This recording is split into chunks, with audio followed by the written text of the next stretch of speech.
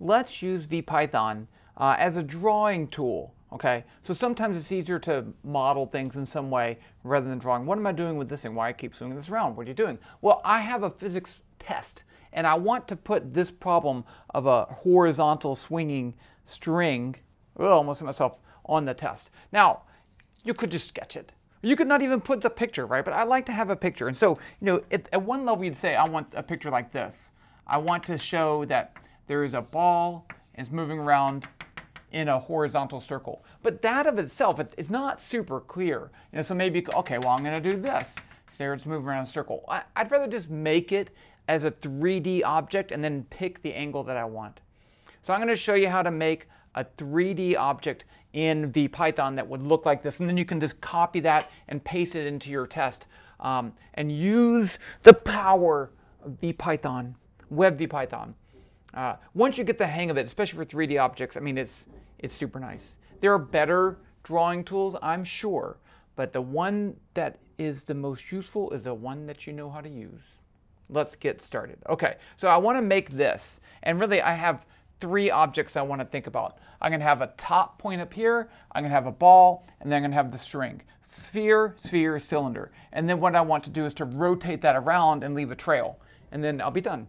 Okay, so let's just get started switching over here to uh, Web VPython, not that one, this one right here. Okay.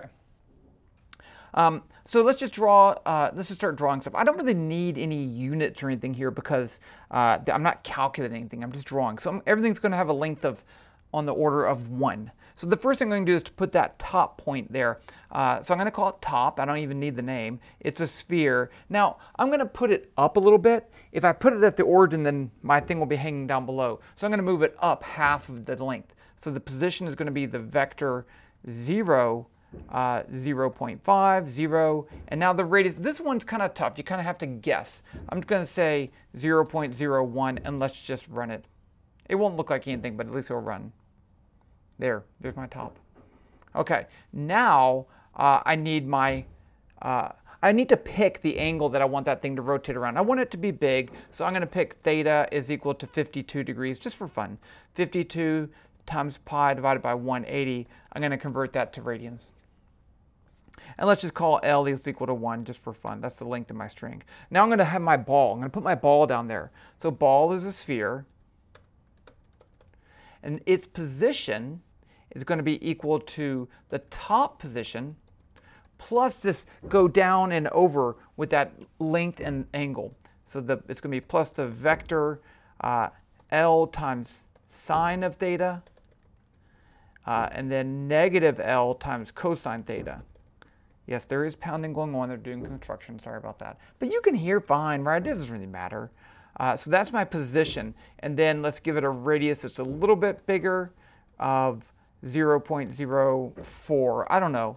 And then color equals color dot red and make trail equals true. Okay, let's run that.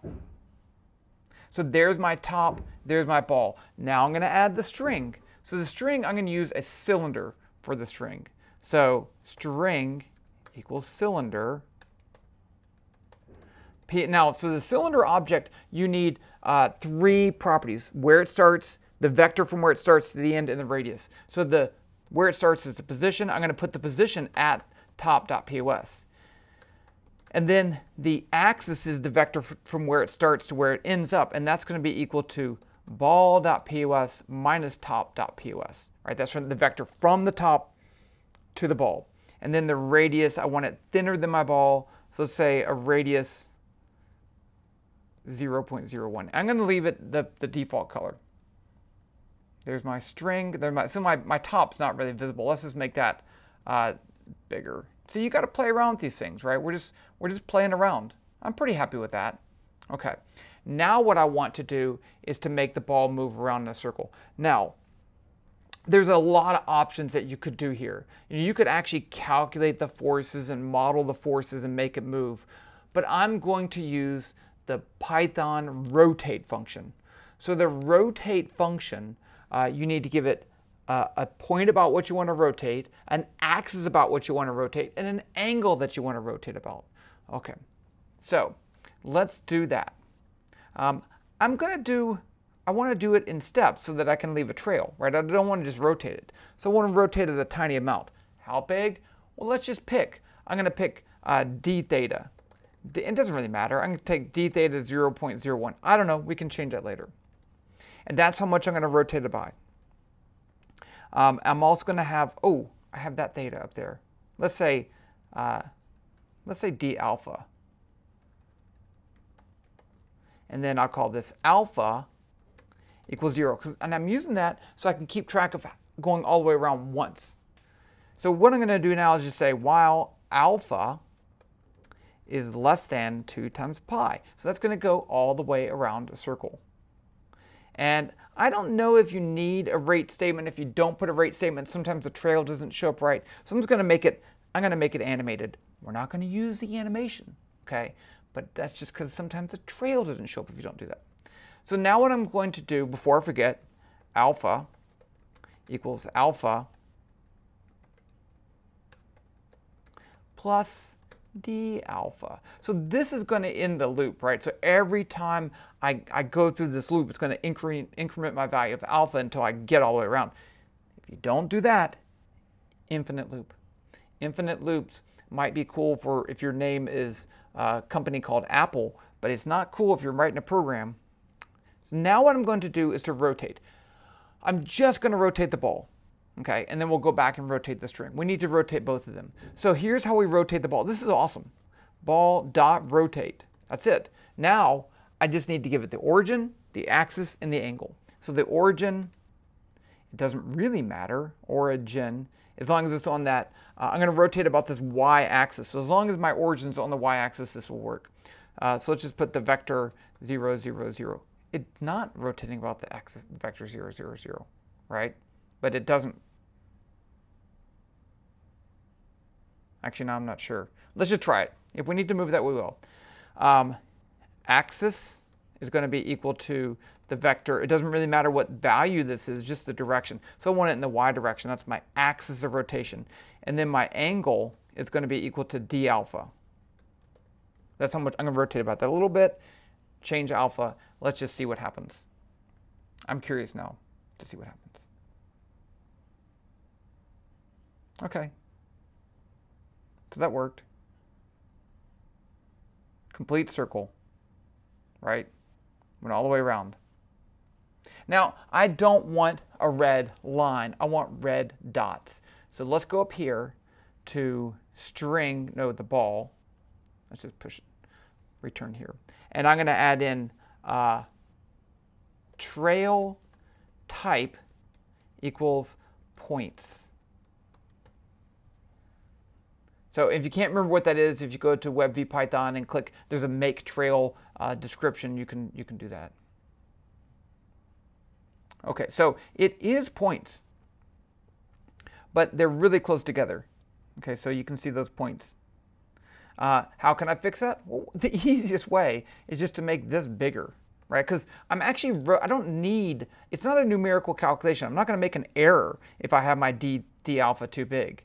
Uh, but I'm just going to take bigger steps. Perfect. That's exactly what I wanted. But this is not going to go in my test. Oh, I, one, I didn't. Actually, I could just leave it like that. Uh, I could leave it like that since it got back to where it started. I didn't even move the string. But let's move the string anyway. Okay. So let's rotate the string just in case maybe you want to make an animation also. So string.rotate, it's going to be the same thing. Rotate the same way. You could combine the string and the ball as one object, but you don't have to. There you go. And it's in 3D, so you can rotate around. Now, you don't want to use this because it's black background, and if you put that in your test and then you print it out, it's going to be a nightmare. So what I'm going to do is my favorite trick up here, canvas, back, oops, background equals color dot white. And now I'm going to run it. There you go. There is my uh, image. Now I can do a screen capture of that. I can put it in my Word document. I can put it in my Google Docs document. I can put it into Keynote. I could do whatever you want. And you know, if you want to add like equations on here, like L and stuff like that, I would do that afterwards. I'm really just concerned about the 3D aspect. And so there you go. It looks really great, doesn't it? You can put whatever you could do like that if you wanted to. You know, you could do uh, like that, uh, like that, like that, whatever, whatever you want. It's nice. So there you go. WebVPython for drawing. I hope you found that useful.